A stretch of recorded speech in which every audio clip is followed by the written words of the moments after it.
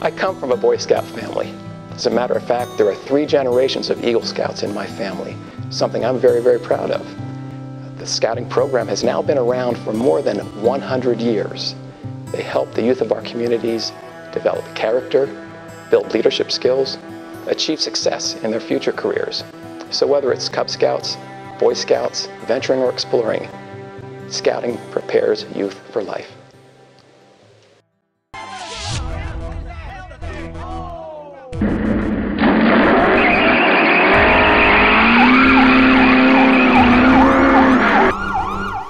I was about 11 years old. I lived in New Jersey, Paterson, New Jersey, uh, to be exact.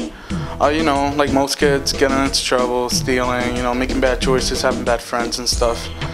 Usual what kids do down there. So, uh, you know, one of the biggest mistake I made before I moved down here was uh, me and a couple friends, we stole a dirt bike, which eventually, you know, we got caught. Ever since that day, you know, my mom wanted to move, move me out of crime and stuff and out of that area. She wanted a better life for me, so we moved up here in Hazleton.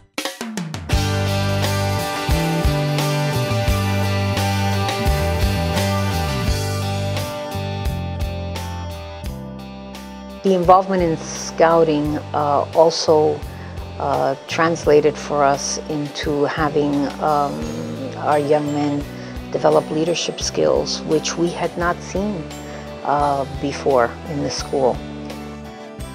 In fact, what we found is that uh, of those young men who were participating in the program, um, after a couple months, we saw an increase in their grades in school. And we saw more interest in uh, on their part. And that's because our wonderful leaders of course um, made it a point to say if you want to stay in this program you have to do well in school I believe scouting is important for these at-risk youth because it gives them a sense of just belonging when you see and you step back and you just see them working together. It's a sense of accomplishment and saying, wow, you know, there's the teamwork. There it is, you know, and if you can apply this in scouting, you can apply this in life. You can apply this in school. You know, I don't want to hear I can't because you show me you can. So therefore, you know, continue to do the things that you learn in scouting and apply them to your life. You know, apply that scout code to your life. I think that individually, um, there are different scouts that have gotten something out of the program. Um, Sometimes it's been confidence. I know I had a scout where uh, when he came in as a Cub Scout, I would ask him, you know, you could, why don't you try this? And he said, no, I can't do that. There's, I, I won't be able to do that. I said, I think you can. Um, it's like, well, I'll, I'll try it, but only because you said so. Like, and then he'd try it and succeed. And then we'd take this next step. Uh, I said, you know, how about uh, trying for a leadership position? Well, I can't do that. It's like, I think you can. Um, well, I'll try it, but only because you said so. Um, and then uh, eventually that scout continued to grow and develop where he did become an Eagle Scout. And as is at his Eagle Scout ceremony, I know I commented that he had always asked that, you know, he couldn't do it. So now that he was an Eagle Scout, he didn't have to ask that question anymore. My cousin, she she does she looks up to me. Makes me feel like I'm doing something not just for myself, but for other people around me. And it's, it's just, like they said, it's a really good feeling to know that you're not the only one making a difference in yourself, but you're doing it for other people. I love this program because you get to be a great role model for other people out there, especially younger kids, like you said, family members. Um, it's just, like you said, you're out there in the uniform, you feel proud, and it just gives you a sense of responsibility, and I suggest it to anyone even if they don't become police officers, what they're going to learn here as far as you know the hands-on, uh, the respect, the discipline, the public speaking. I mean, we make them get up and talk in front of the class. We, you know, we purposely design the program to make that happen. Uh, when they when they're done this, even if they decide to go into a different career field, what they take away from exploring will, will be with them for life. They'll take it to college. They'll take it on you know, onto their next level when they decide to go out and become productive members of, uh, of our society.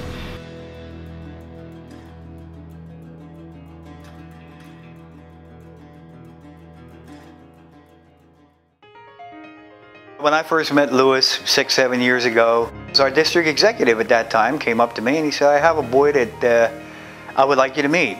He's uh, has a lot of problems. He's been in juvenile hall.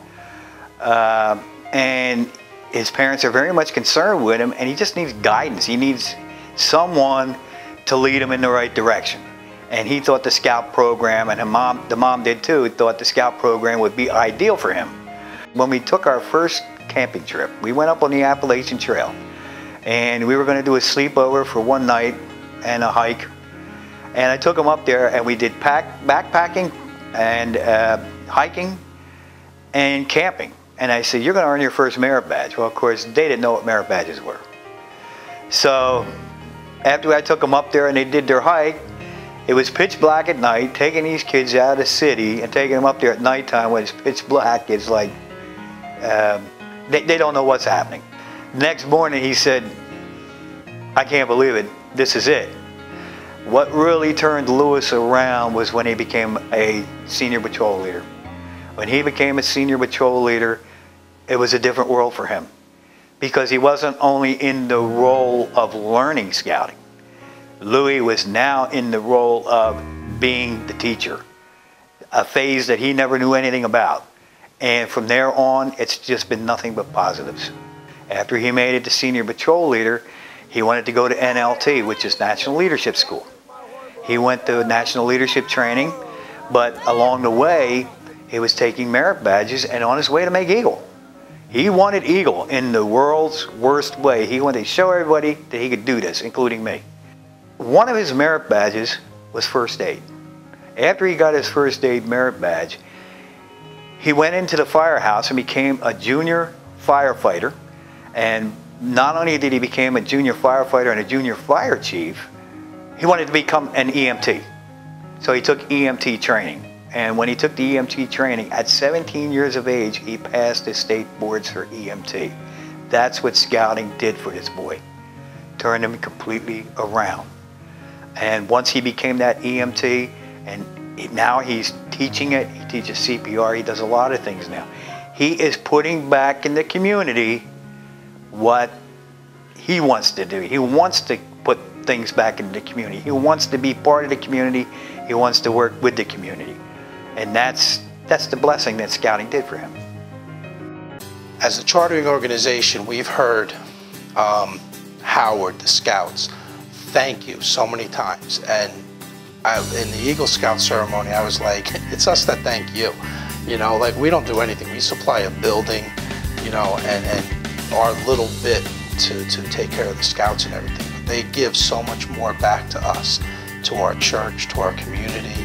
I believe that a dollar spent today in scouting uh, is going to return tens of, of dollars uh, in the future in terms of not having to pay for uh, the incarceration of people um, and, and having society uh, members who are contributing. If one is looking for a way to invest in the future of our community, I can't think of a better way to do it than through investing in scouting. The kid I uh, stole the dirt bikes with, I know uh, right now he's in prison for uh, assault and robbery, but that's when I when every time I hear that or look at that, I know I probably would have been right there with them in jail. That's why when you guys ask me where I would be today if I wasn't in scouting, I say probably dead or in jail, and that's what happened to him joining Boy Scouts was one of the best decisions I ever made in my life.